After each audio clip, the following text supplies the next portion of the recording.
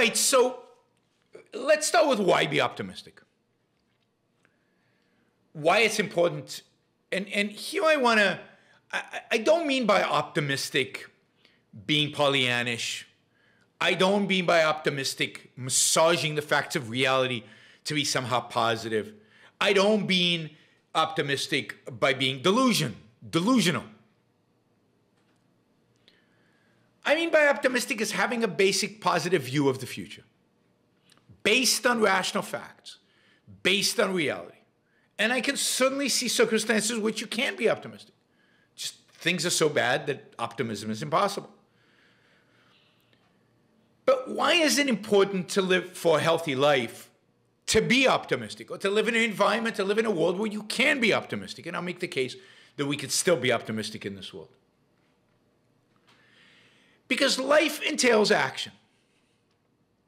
And life entails action into the future. Indeed, we live in the present, but we're constantly moving towards a future and creating a future. We're constantly thinking about the future, planning for the future, and acting now for the future. And it is impossible. Impossible. To act into the future and to be successful in acting into the future and to be energized about acting into the future and to be committed to the future, if you think the future is bleak and horrible and depressing and nothing can be achieved and uh, your life is just one long miserable, I mean, what's the point? How can one plan? Uh, for what horizon? If failure is the name of the game, then why plan? Why think about the future? Why plan for the future? Why live? And it's impossible to be happy. So, to be happy, to be successful,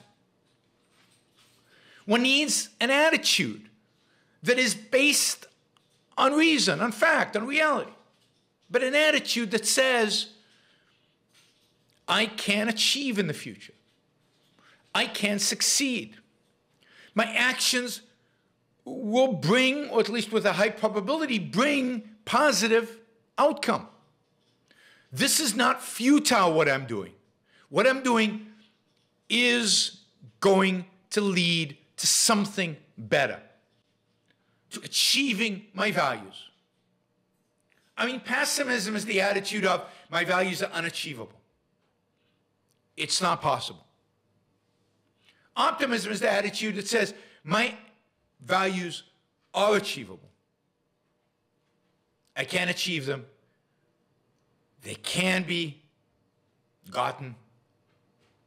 I will not give up and I will fight for them.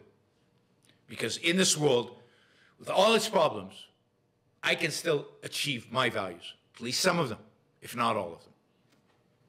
And that is a necessary attitude. It's a necessary frame of mind to be successful at life. It's a necessary frame of mind to go after a new job, to pursue a new career, to pursue an existing career, to pursue a raise, to pursue a promotion, to study a new area, to go into a new field. It's a necessary condition to try dating, to go after a relationship, friendship, love.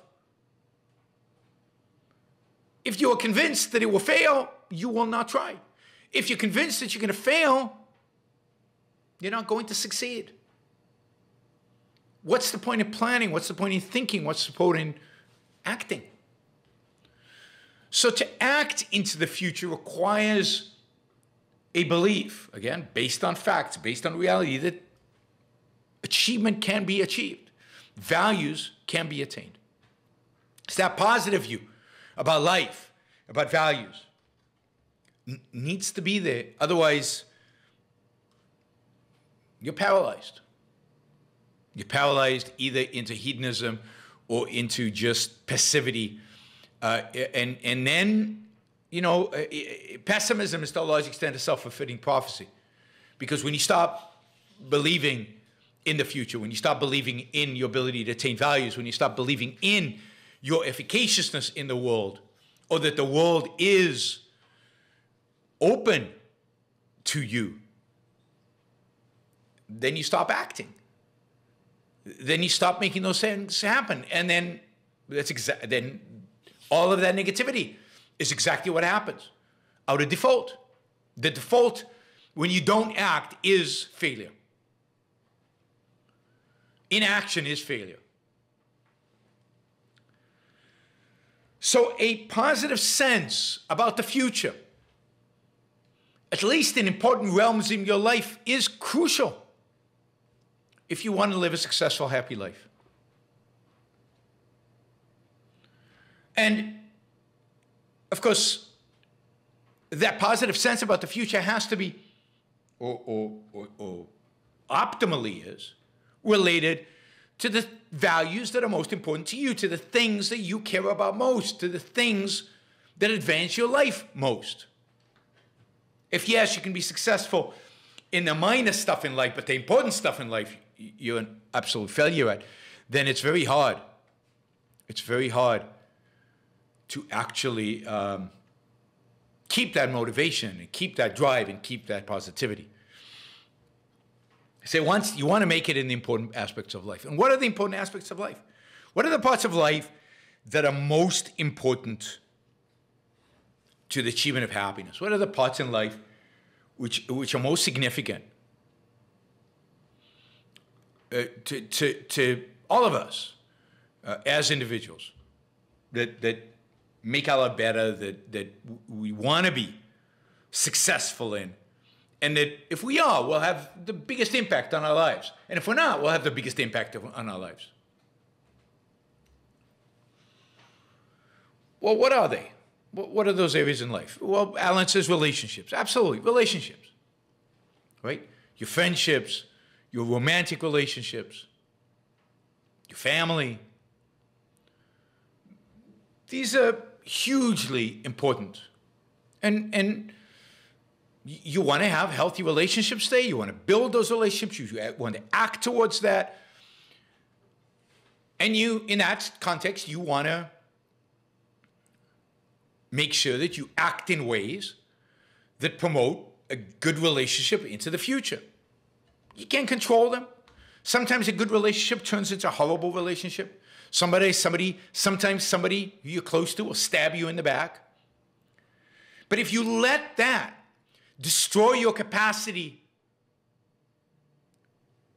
to plan for the future, to act towards good relationships, then you've given up on this crucial, important value that you have that is necessary for you to have a happy life, a successful life. See, to have that successful life, you have to be able to project into the future and you have to act towards it. And if you give up, you can't have that. You won't gain that value. Adam says finding a purpose and being productive. Yeah, having a having a career. I mean, career is crucially important in your life. And you've want to develop a positive attitude towards your career. If your career is, and I've said this many times in the show, if your career is no good, if it's a dead end, if you're struggling, if you don't like it, if you're not enjoying it, you don't see a future in it, if you cannot be optimistic about your career where you are right now, then do something about it. Because it's crucial that you have a positive view of your career. It's crucial that you're ready to act to make your career better. You act to make your life in this realm better. That you act to do well, to succeed. And it's not completely in your control, not relationships and not a career. But in most both cases, it's mostly in your control. You get to decide who you have a relationship with or not. You get to decide who to get close to or not. You get to decide whether you're going to initiate, whether you're going to seek out relationships, where you're going to find friends, where you or whether you're going to be passive about it. This is something that's very much in your control. Make it happen. Make it good. Again, you're going to fail. We all fail. Failure is part of trying. Failure is part of living. It's what you do with that failure, what you learn from that failure, and whether you're willing to get up and try again and try again and try again. And the same with a career. Not the first career you choose won't necessarily be the one that you stick with. You might have to change. You have to try, but it's in your control. Yes, you might have a lousy boss. You might have a lousy company. They might lay you off for no reason. Lots of things might happen.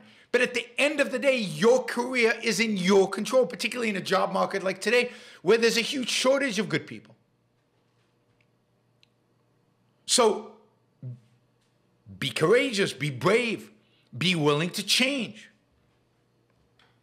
You want to be in a place in your life where your career, which is under your control, is something you're positive about. You're, ima- you, you're, you're living for a, a, a ever better future, career wise. So you got relationships, you got career. I don't know what else. What else is important? What is, is crucial to your life, to your happiness, to your success? Let's see. Um, yeah, what you do for a living, we just talked about. Um,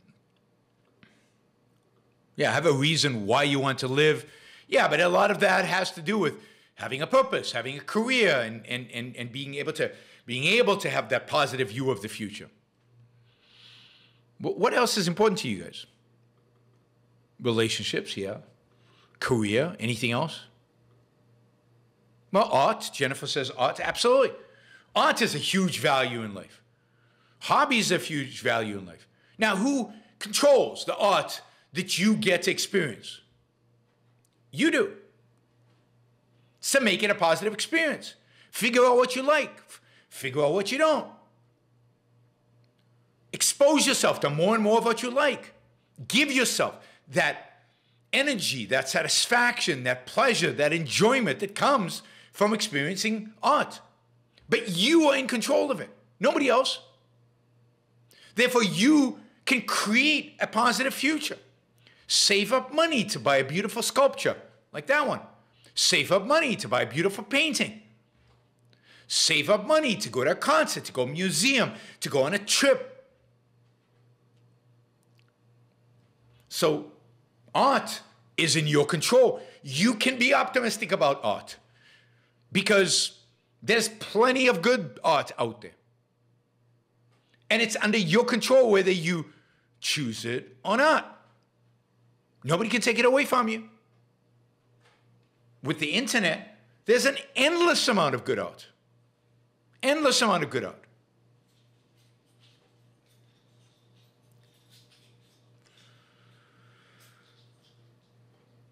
Pleasure. Stephen says pleasure. Yeah, I mean, uh, all kinds of pleasures. Whether it's pleasure you get from art, whether it's pleasure you get from sex, whether it's pleasure you get from great conversation, whether it's pleasure you get from listening to Yaron Brook show, whether it's pleasure you get from a good massage.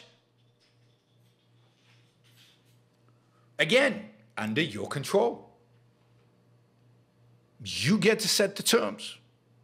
And there's no reason to be pessimistic about it. You can create a world, you can create your life to have pleasure in it.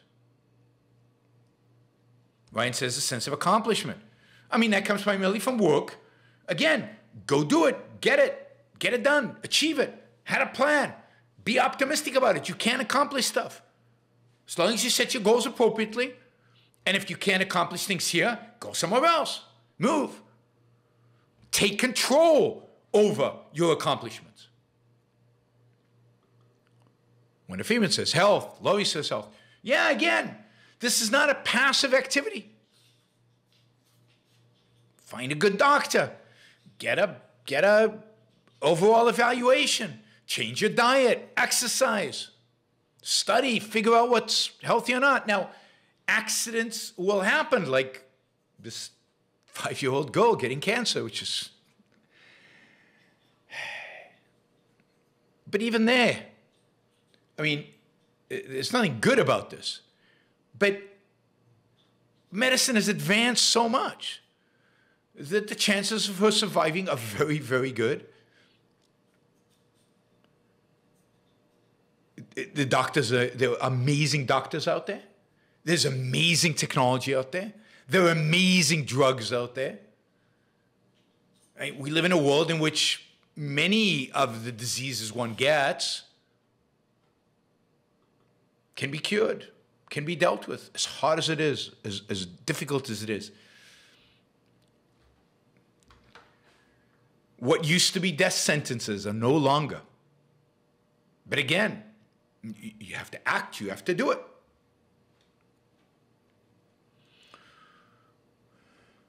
All right, others say, uh, uh, uh, yes says health, relationships, career, financial stability, and personal hobbies, learning, volunteer if you like, etc. You didn't have art. Art should definitely be in your big five. Uh, and financial stability is really linked to your career. Uh, I guess you could separate them out. But again, all in your control. Now, notice, uh, you know, somebody says a dog, good meal, cats and rabbits, goldfish, hamsters, not sure what any of that has to do with anything, possums. Um, yeah, having a pet, that's good. Note that all the values that we have talked about so far that are really necessary for happiness, for flourishing, for being successful as a human being they're all values that are in your control. They're all values that no matter what happens in Washington, D.C., up to a point, we'll, we'll, we'll, talk about that, up to a point. No matter what the truckers do or don't do, no matter what Trudeau does or doesn't do, up to a point, all of those are achievable, or at least in different scenarios, many of them achievable in spite of the crummy, horrible, disgusting state of the world. I mean, all of that is to illustrate that if you focus on the things that matter to you, on the personal values that are important to you, on your relationships, on your career, on art that you love, on your pets, on your, I don't know, whatever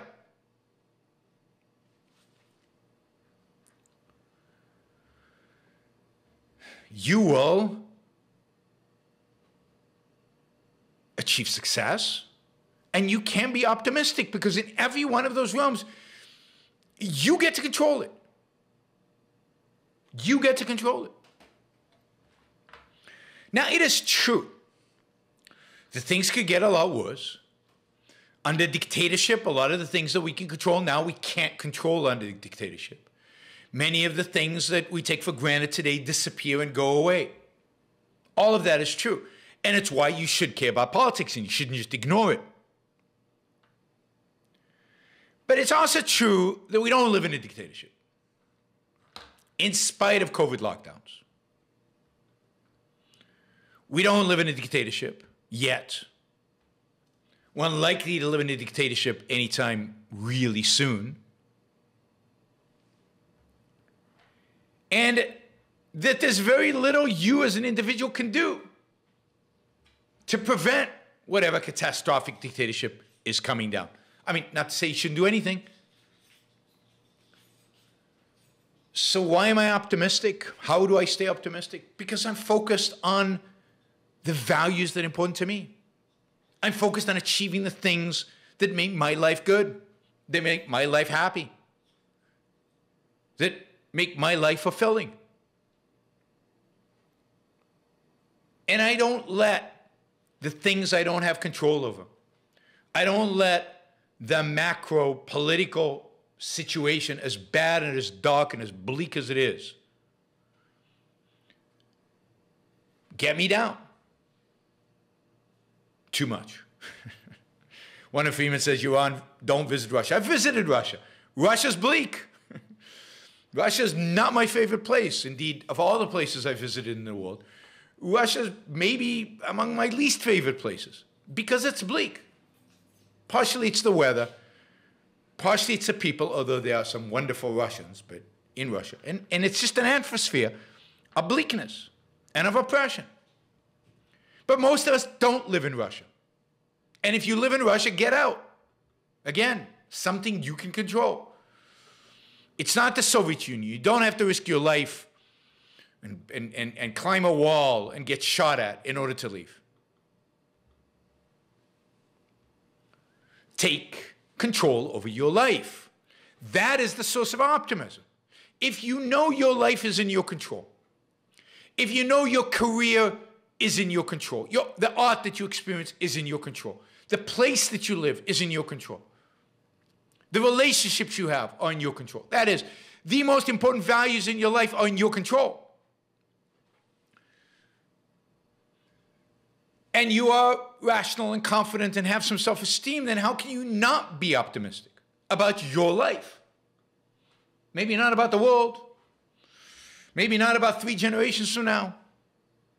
But what really matters is your optimism about you, about your life, about where you're going, where you're heading, about your ability to achieve your values.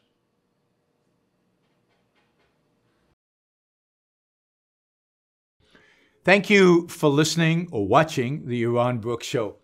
If you'd like to support the show, we make it as easy as possible for you to trade with me. You get value from listening, you get value from watching. Show your appreciation. You can do that by going to yaronbrookshow.com slash support, by going to Patreon, Subscribestar, Locals, and just making a appropriate contribution uh, on any one of those uh, any one of those channels. Also, if you'd like to see the Yaron Brook Show grow, please consider sharing our content and of course subscribe press that little bell button right down there on YouTube so that you get an announcement when we go live. And for you, those of you who are already subscribers and those of you who are already supporters of the show, thank you. I very much appreciate it.